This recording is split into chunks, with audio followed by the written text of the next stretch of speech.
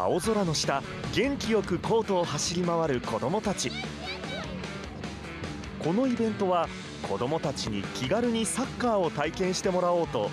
一般社団法人熊本県サッカー協会がおよそ20年前から続けています。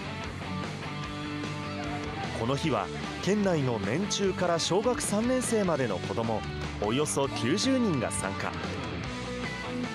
年齢や学年でグループに分かれボールコントロールやキックパスシュートの練習をしたほかミニゲームをしながらサッカーを楽しんでいました。楽しかった。シュート決めたりいろんなことができたから楽しかった。将来の夢は何ですか？サッカーサッカー選手です。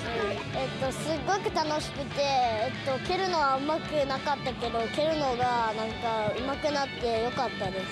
いろんな友達がいて楽しかった。友達も作れ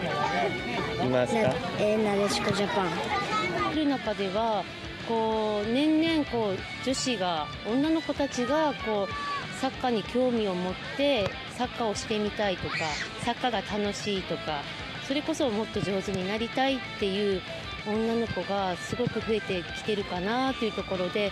今日も結構女の子の参加率がやっぱり高かったかなというところで嬉しく思っています。一人でも多くこうサッカーに触れ合ってサッカー大好きな子どもたちが増えていってほしいなと思います。協会は今後もイベントを続けることにしています。